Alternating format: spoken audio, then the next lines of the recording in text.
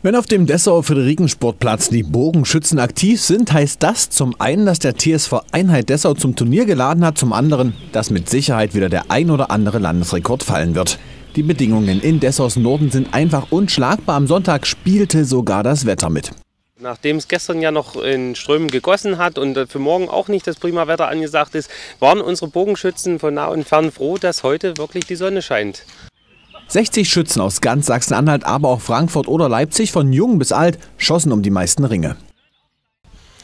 Es geht einfach um den Spaß am Schießen, ist klar. Aber es gibt auch viele Schützen von nah und fern, äh, die dieses Turnier als Qualifikation für die deutschen Meisterschaften beziehungsweise in Brandenburg müssen sie sich auch noch aufgrund der Vielzahl von Schützen dort erstmal für die Landesmeisterschaften qualifizieren und wollen dementsprechend ein Ergebnis haben, was ihnen die Möglichkeit gibt, dort eben zu starten. Insgesamt wurden am Sonntag 15 neue Landesrekorde aufgestellt, einer vielleicht sogar für die Ewigkeit. Der Wackerslebener Hartmut Stöter knackte einen fast 19 Jahre alten Landesrekord und schoss mit seinem Recurve-Bogen in der Klasse Ü55 1088 Ringe.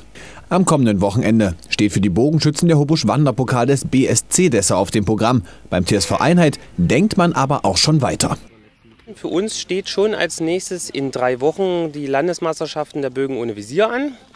Da der Landesverband sehr kurzfristig dann doch noch einen Ausrichter suchte, haben wir uns bereit erklärt, weil wir Anlage und Material zur Verfügung stehen haben, dass wir das übernehmen.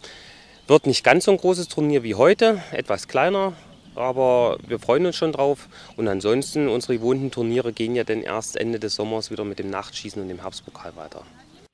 Am Sonntag blieb im Übrigen kein Pokal in Dessau-Rosslau, was aber auch an der mangelnden Teilnehmerzahl lag. Der Wanderpokal erwachsene Recurve ging nach Leipzig. Im Compound-Bereich verteidigte Lindenberg erfolgreich und bei den Kindern Recurve konnte nach längerer Zeit auch wieder ein Pokal vergeben werden. Der Gewinner kommt aus Kuhfelde.